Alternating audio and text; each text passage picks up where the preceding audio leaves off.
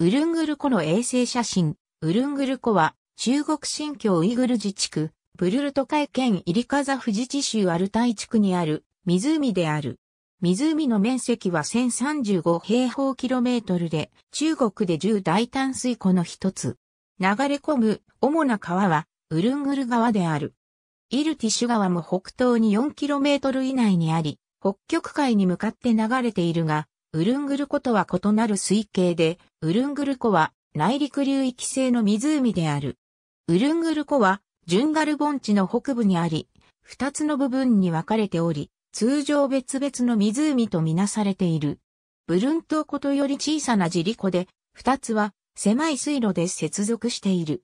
ウルジリ水系の主な水源は、ウルングル川である。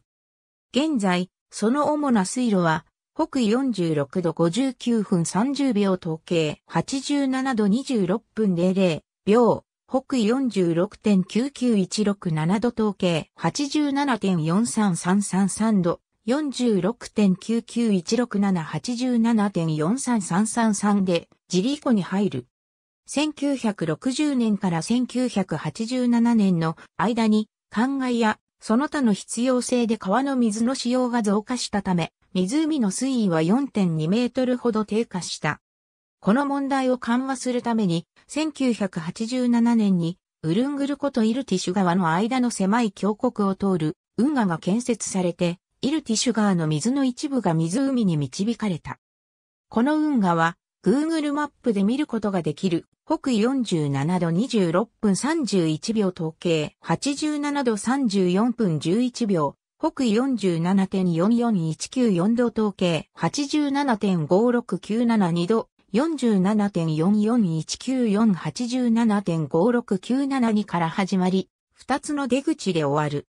このおかげで、次の年の秋までに、湖の水位が元のレベルに戻ることを可能にし、その岸の周りの湿地も復活することも可能にした。また、これによりこの漁業を回復させることもできた。ウルングル湖岸には、ウルングル湖国家湿地公園があり、野鳥の休息地になっている。ボステン湖と並んで、ウルングル湖は、新疆ウイグル自治区で最も重要な二つの漁業用湖である。湖の主な魚種は、ブリーム、シベリアデス、ヨーロピアンパーチである。ウルングル湖の漁獲量は1971年に過去、最高の4500トンに達したが、その後より持続可能なレベルにまで減少した。冬の間、湖で氷釣りが行われる。ありがとうございます。